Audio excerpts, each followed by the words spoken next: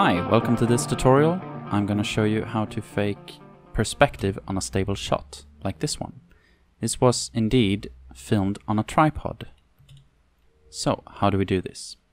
We start by making a new composition. I'm gonna make mine 1920 by 817, since I want the more anamorphic look, and it just helps with, uh, with this effect. So we call it fake perspective. 10 seconds is fine. I'm gonna add our shot and this was recorded in 4K so I'm gonna scale it down 50%.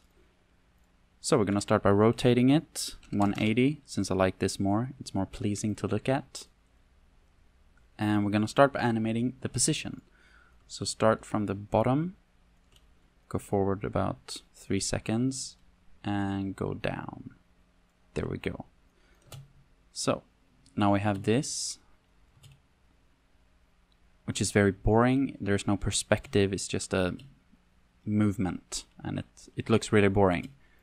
So we're gonna add an effect called corner pin, which adds these sort of distorted distortion based points, which helps you distort the footage. Um, and we're going to utilize that. So go to the end and keyframe the lower left, the lower right, since these are the top ones now, since we flipped it 180 degrees. Go to the beginning, and on the lower left, we're going to go negative 400 on the X and add 200 on the Y.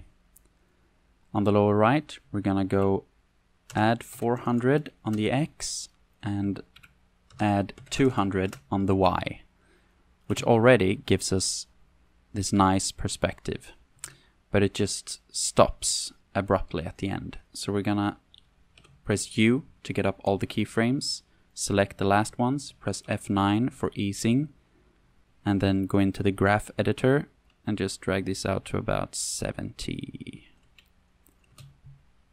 And there we go. A nice perspective. I hope you found this tutorial useful, and um, I guess I'll see you next time. Take care.